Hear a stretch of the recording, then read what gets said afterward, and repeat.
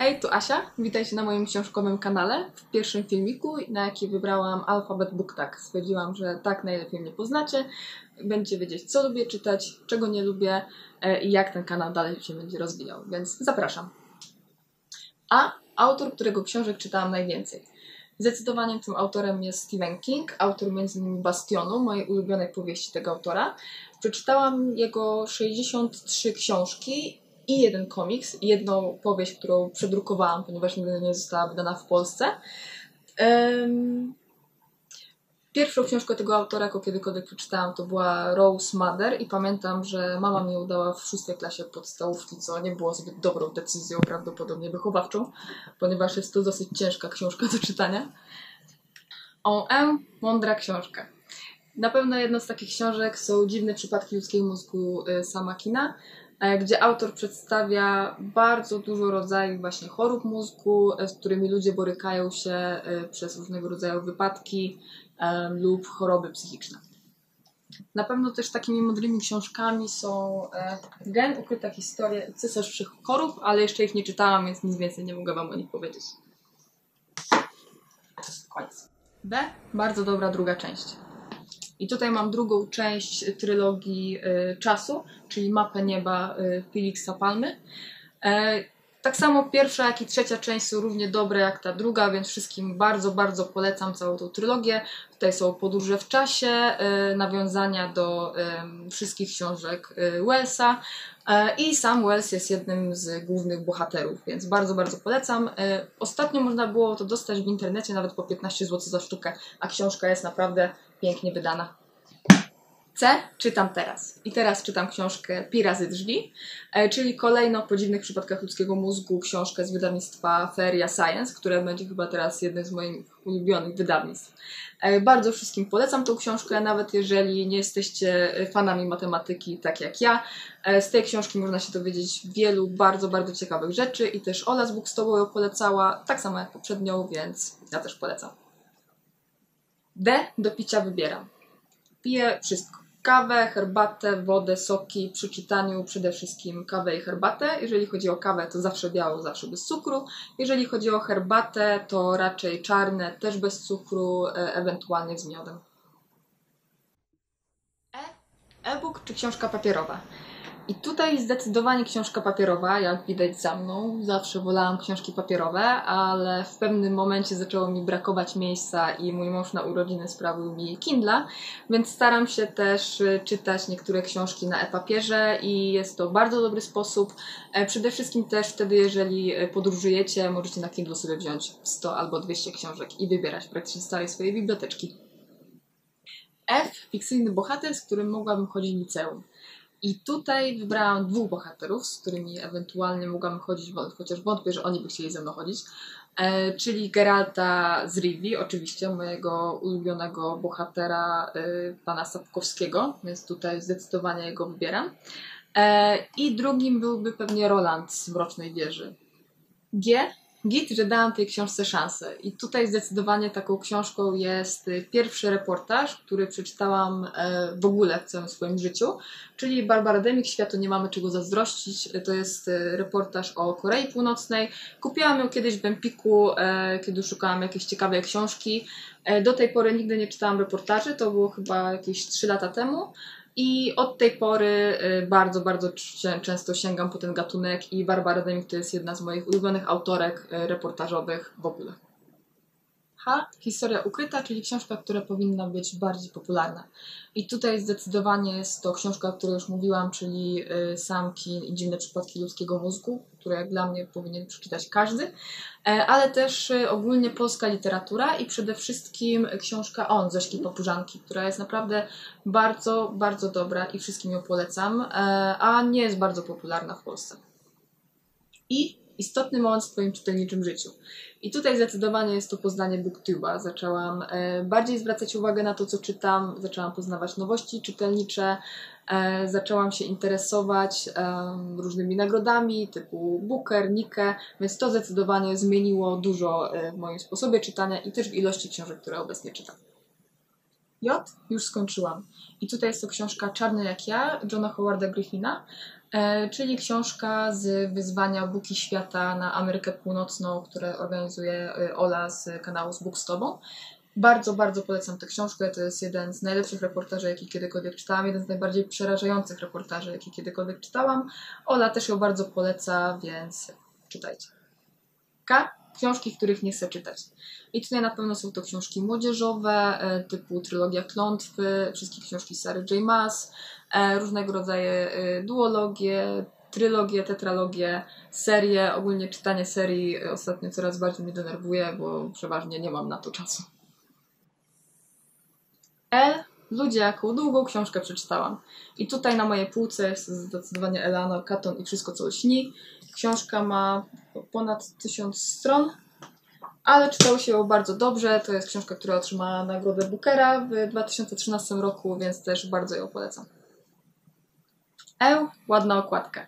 I tutaj zdecydowanie najładniejsze okładki w moim zbiorze mają e, seria Dune Franka Herberta od wydawnictwa Rebis z ilustracjami e, Wojciecha Siódmaka, który też jest moim jednym z ulubionych rysowników. Książka jest w obwolucie, ma piękną wklejkę, a pod obwolutą jest złota z taką piękną fakturą i z wytłoczonymi e, tutaj zdobieniami, więc zdecydowanie jest to najładniejsza seria, którą mam obecnie na półce. M miałam kaca książkowego przez i tutaj przygotowałam sobie y, dwie książki. Pierwsza to jest Droga Cormaca McCarthy'ego, czyli pierwsza książka tego autora, który teraz jest jednym z moich ulubionych autorów. E, jest to książka, która opowiada o podróży e, ojca i syna w czasie apokalipsy, tak naprawdę już po apokalipsie, która spotkała Ziemię jest bardzo, bardzo poruszająca, jest pisana w bardzo takim surowym stylu, z którego słynie Cormac McCarthy, więc naprawdę po tej książce długo nie mogłam sięgnąć po nic innego. A drugą taką książką jest książka Jeszcze jeden oddech, e, gdzie autor zmagał się z rakiem płuc i niestety tą walkę przegrał. Naprawdę bardzo, bardzo wzruszająca książka i bardzo dobrze napisana. N. Na półce mam tyle książek. E, obecnie na y, koncie na Lubimy Czytać mam 900 książek, na półce posiadam, ale trochę już posprzedawałam, więc podejrzewam, że będzie ich około 800 na całym tym regale, który widzicie tutaj z tyłu. N. Nic nie zaczyna się na N, jedyna taka książka. I tutaj wybrałam książkę Billa Bassa Trupia Farma, ponieważ Trupia Farma jest jedyna, jedyną taką e, farmą na świecie. E, I tutaj Bill Bass, który jest antropologiem sądowym, założył ją, żeby e, badać ludzkie szczątki, jak się rozkładają w różnych warunkach. Bardzo, bardzo ciekawa książka, bardzo polecam, ale nie polecam e, jeść przy czytaniu, ponieważ jest bardzo dużo bardzo e, dokładnych opisów rozkładania się zwłok. O, odświeżam tę lekturę raz po raz. I tutaj zdecydowanie jest to seria o Harry Potterze, którą czytałam prawdopodobnie już 5-6 razy. E, I seria o Wiedźminie Andrzeja Sapkowskiego, którą też czytałam, podejrzewam, już 3-4 razy. Mam jeszcze dwie serie, które na pewno chcę sobie odświeżyć. Jest to seria Duny Franka Herberta, o której Wam mówiłam wcześniej, e, i seria Świata dysku Terego Pratchetta. U, ów autor zachwycił mnie. I tutaj jest zdecydowanie e, Anne Rand jej źródło, moja ulubiona książka zeszłego roku, e, którą co prawda czytałam bardzo, bardzo długo, ale była to bardzo wartościowa lektura i e, poglądy pani Rand bardzo, bardzo mi odpowiadają. Jej filozofia obiektywizmu to jest coś, w czym też się odnajduję, więc bardzo polecam tą pozycję. P. Poczytam w tym miejscu. Przede wszystkim czytam w łóżku, tam jest mi najwygodniej, więc y, przeważnie właśnie czytam tam. E, bardzo często zdarza się w komunikacji miejskiej, y, w podróżach, wtedy przeważnie biorę z sobą Kindle, więc staram się czytać y, wszędzie, żeby nie tracić czasu na bezsensowne siedzenie. R. Raczej nie powinnam tego czytać. I tutaj uważam, tak jak Asia tu czytam, że nie ma takich książek, których bym się wstydziła, że je przeczytałam, albo przy których bym straciła czas, ponieważ każda, czytanie każdej książki jakoś nas rozwija. Chociaż tutaj jest chyba jeden wyjątek i jest to trylogia Greya, którą przeczytałam całą. S, seria, którą zaczęłam i chcę skończyć. I tutaj na pewno jest to drugi do, tom um, książki Vernon Subutex Virginie Despont. E, przeczytałam pierwszy i bardzo mi się podobał. E, dałam na Lubimy Czytać tej książce e, chyba 8 gwiazdek na 10. E, ale drugi tom już nie zbiera takich pozytywnych recenzji, więc bardzo długo czekał na półce. Mam nadzieję się za nią wziąć albo w przyszłym roku, ale, albo jak mi się jeszcze uda, teraz w grudniu na Buki Świata Europejskie. Eś śmiała mnie polubić. E, I tutaj muszę przyznać, że nie polubiłam szóstki Wron i Bardugo, więc też nie sięgałam już po Królestwo Kanciarzy. Stwierdziłam, że to jednak chyba już nie jest literatura dla mnie. E, nie przepadam też za książkami Nicolasa Sparksa i e, pana Evansa. Te trzy ulubione książki. E, I tutaj wybrałam trzy książki, które są moimi ulubionymi książkami w tym momencie, kiedy nagrywam ten filmik, ponieważ wszyscy wiemy, że każdy czytelnik na takie pytania o jedną ulubioną albo trzy ulubione książki e, bardzo źle reaguje, ponieważ bardzo trudno jest takie książki wybrać. Ja tutaj wybrałam właśnie e, trzy z różnych typów literatury. Pierwszy to jest reportaż i to jest Ku Klux Klan Tu mieszka miłość pani Surmiak Domańskiej. E, bardzo, bardzo dobry reportaż o tym, jak wygląda obecnie w Stanach właśnie organizacja Ku Klux Klan, która jest organizacją legalną, legalnie działającą na południu Stanów Zjednoczonych. E, działają zupełnie inaczej, ponieważ już nie są tacy brutalni, nie działają w ten sam sposób, w jaki działali w latach 50., 60., 70. Jednak dalej można powiedzieć, że prześladują e, czarnoskórych mieszkańców Ameryki. Drugą książką jest y, książka z zakresu literatury polskiej, czyli Rdza Jakuba Małeckiego, najnowsza powieść tego pisarza, który jest obecnie moim ulubionym polskim pisarzem i bardzo, bardzo polecam wszystkie jego książki. E, dotychczas czytałam właśnie Rdze, Dygot i Ślady. Wszystkie trzy są e, bardzo dobre, więc polecam ją. I ostatnią, czyli z prozy zagranicznej, E, Cormac McCarthy, e, już widzieliście jego drogę, tutaj mamy To nie jest kraj dla starych ludzi. Kolejna bardzo dobra napisana, e, bardzo dobrze napisana książka tego pisarza. Bardzo lubię jego styl, który jest właśnie bardzo minimalistyczny, surowy i autor pisze bardzo, bardzo dosadnie.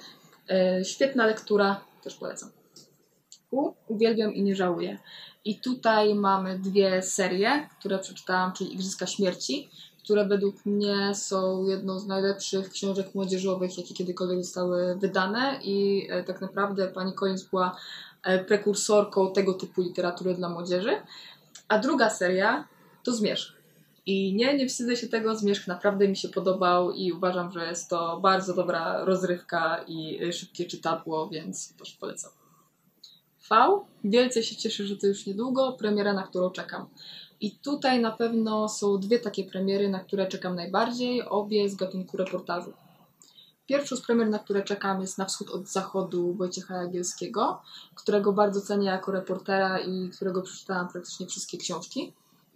Czekam także na premierę najnowszej powieści z serii amerykańskiej wydawnictwa Czarnego, czyli e, Misula, gwałty na amerykańskim miasteczku uniwersyteckim. W. Weź coś zrób z tymi nawykami. I tutaj zdecydowanie moim najgorszym, najgorszym nawykiem jest y, kupowanie zbyt dużej ilości książek w stosunku do tego, co czytam i porzucanie książek w trakcie niedoczytywania ich do końca. X. Postaw X, czyli 27 książka na półce. I tutaj wybrałam 27 książkę z półki y, mojej reportażowej, czyli tą, którą widzicie tutaj za mną. I jest to do poprzedniego pytania książka, której jeszcze nie przeczytałam, czyli Księżyc Peweksu Aleksandry Boćkowskiej. E, chcę się, chcę po nią sięgnąć właśnie w grudniu, kiedy będą Buki Świata Europejskie na pewno dam Wam znać, co o niej sądzę po przeczytaniu, bo zapowiada się naprawdę bardzo dobra lektura. Y, czyli Yupi, kupiłam kolejną książkę. I tutaj pokażę Wam dwie książki, które ostatnio do mnie przybyły z księgarni czytam.pl. E, i jest to Mindhunter Johna Douglasa. E, oglądałam pierwszy sezon serialu, ponieważ na podstawie tej książki Netflix wypuścił e, serial i jest bardzo dobry, bardzo mnie zainteresował, dlatego stwierdziłam, że muszę też sięgnąć po pierwowzór literacki. A drugą książką jest oczywiście najnowsza książka Stephena Kinga, którą napisał razem ze swoim synem Owenem Kingiem, czyli Śpiące Kulewny. I tą książkę na pewno będę chciała zrecenzować na pewno będzie dobra, w końcu to Stephen King. Z zamiast spać czytałam. I tutaj są dwie takie książki, o których sobie wspominam, że czytałam je do rana. Jest to Harry Potter i Książę Półkrwi, którą czytałam właśnie y, do samego rana i płakałam strasznie pod koniec. E, I Zmierzch. Dwie książki potrafiłam przeczytać jednego dnia. Zi źle wymawiam. I tutaj praktycznie nie, nie, pamiętam, żebym wymówiła źle jakieś nazwisko pisarza. Prawdopodobnie, że y, nigdy wtedy nie mówię tego nazwiska, ale na pewno też wiedziałam, nie wiedziałam, że y, nie czyta się Tove Jansson, tylko Tuve Jansson. I tego się dowiedziałam dopiero jak obejrzałam y, właśnie ten sam tak na y, kanale Tu Czytam, gdzie Asia właśnie o tym wspominała. Ostatnie pytanie, czyli Ży Żółwie Tempo, czyli książkę, którą czytałam bardzo długo. Jest to, tak jak już Wam pokazywałam i mówiłam wcześniej, źródło Ayn Rand, którą czytałam naprawdę chyba z miesiąc e, na przemian z innymi książkami, ale bardzo ciężko mi było ją skończyć, bo e, była tak dobra, że chciałam ją czytać jak najdłużej. Mam też Atlas Buntowany, ale on jest tak wielki, że podejrzewam, że będę go czytać kolejne trzy miesiące. To już wszystko na dziś, co dla Was mam. Przebrnęliśmy przez wszystkie pytania z tego tagu. Jeżeli Wam się podobało, to zostawcie kciuka w górę i zasubskrybujcie kanał. E, I do zobaczenia w następnym filmiku. Pa!